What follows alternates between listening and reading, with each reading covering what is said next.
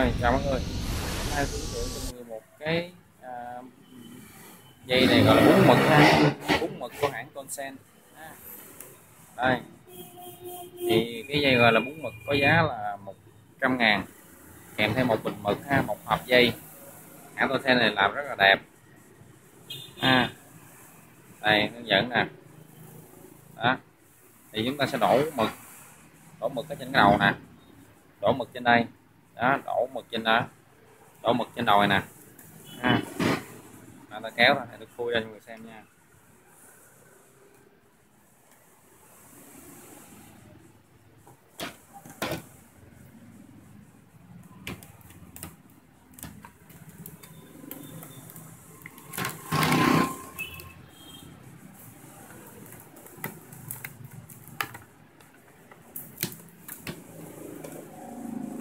đây.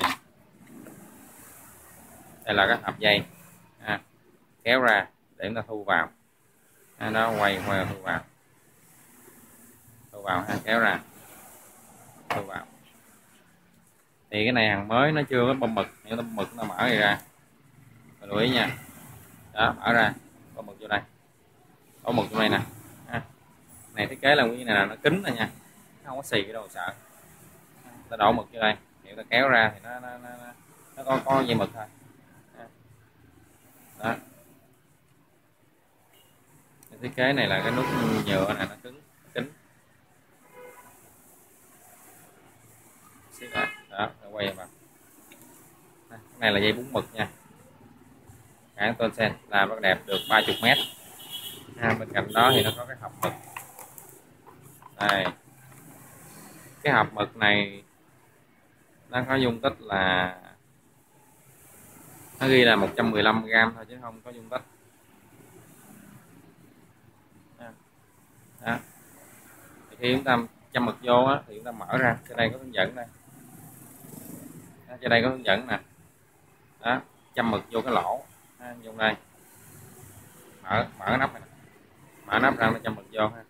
Và kéo chúng ta búng mực thôi hoặc là cái dây này cái đồ cái này nó có cái, cái răng ngàm nó kẹp. Kẹp để ta kẹp lại. Dùng ta kẹp xuống đây. Đó kẹp như vậy. Rất là chắc mà ta kéo. À, ta búng lên. Đó nó thiết kế rất là hay.